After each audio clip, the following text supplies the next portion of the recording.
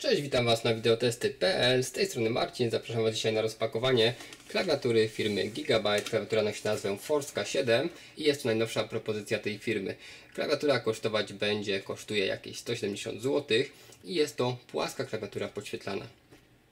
Jak widzimy na obrazku, ma bardzo fajny, taki nowoczesny kształt.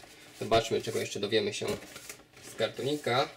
No, generalnie wszystkie informacje są z tyłu, nie ma tego co prawda za dużo. Mam informację o takiej e, wbudowanej w klawiaturę podpórce pod nadgarstki, funkcji hotlink pod klawiszami funkcyjnymi, e, anti-ghostingu oraz podobnie jak pamiętam z klawiatury Aivia Osmium e, mamy dwie takie rolki jak w myszce do regulacji głośności i natężenia podświetlenia oraz klawisze o strukturze nożycowej. No cóż, za dużo informacji co prawda nie ma, tak więc rzucimy sobie okiem do opakowania, zobaczmy tą klawiaturę co jeszcze w zestawie ciekawego. No okej, okay, za dużo tego nie było w opakowaniu, co prawda mamy tutaj instrukcję firmy Gigabyte. Taki bardzo podstawowy opis, klawisze funkcyjne, funkcje multimedialne i to generalnie na tyle. Eee, trzeba będzie do recenzji poszperać głębiej na stronie producenta, dowiedzieć się o parametrach technicznych, jaka jest częstotliwość próbkowania, oraz przede wszystkim zakres anti-ghostingu, czy jest to tylko strefa gracza, klawisze WSAD, spacja i tak dalej, czy może jest to szerszy anti-ghosting, ile klawiszy naraz można wcisnąć nie blokując klawiatury. Oczywiście tego się dla Was dowiem, e, ale rzucając okiem na tą klawiaturę, zobaczcie.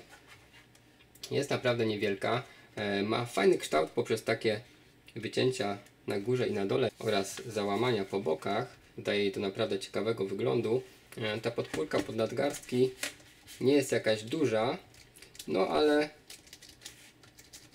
jakieś podparcie faktycznie stanowi. Klawiatura jest bardzo płaska. Rzućcie okiem. Naprawdę bardzo kompaktowa. I zobaczcie same klawisze. Chodzące klawisze do dołu. Troszeczkę kojarzy mi się ten system e, z najnowszymi klawiaturami z T-Seriesa, czyli Apexem i Apexem Pro, które ostatnio testowałem. No i patrzymy dalej. Zobaczcie same klawisze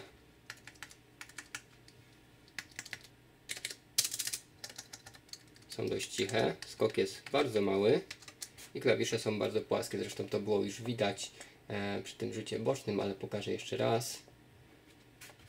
Jak było w instrukcji, klawisze multimedialne ukryte pod klawiszami funkcyjnymi. Mamy klawisz FN, który w połączeniu z tymi klawiszami zarządza tymi funkcjami. I mamy klawisz Winlock blokujący funkcję Windowsa. Także te dwie rolki, o których wspomniałem, służą także jako przycisk oraz regulują jasność oraz głośność. Przycisk prawdopodobnie będzie całkowicie wyciszał lub całkowicie wygaszał podświetlenie. E, jakie są podświetlenia? Oczywiście zobaczymy też e, w pełnej recenzji za jakiś czas. Jeszcze jedna rzecz, rzucimy w sumie na dół klawiatury, a zobaczcie, mamy bardzo fajne, duże antypoślizgi, takie chropowate, które myślę, że dobrze będą spełniać swoje zadanie i podwyższenia, które też są gumowane. Bardzo dobrze, plus dla producenta za to. I ostatnia rzecz, kabel. Kabel w oplocie z takim organizerem z logo firmy Gigabyte. Około 2 metrów długości i zakończony pozłacanym wtykiem USB z logo firmy Gigabyte. To by było na tyle jeśli chodzi o najnowszą klawiaturę Gigabyte'a Forska 7. Zobaczymy jak się sprawdzi w testach.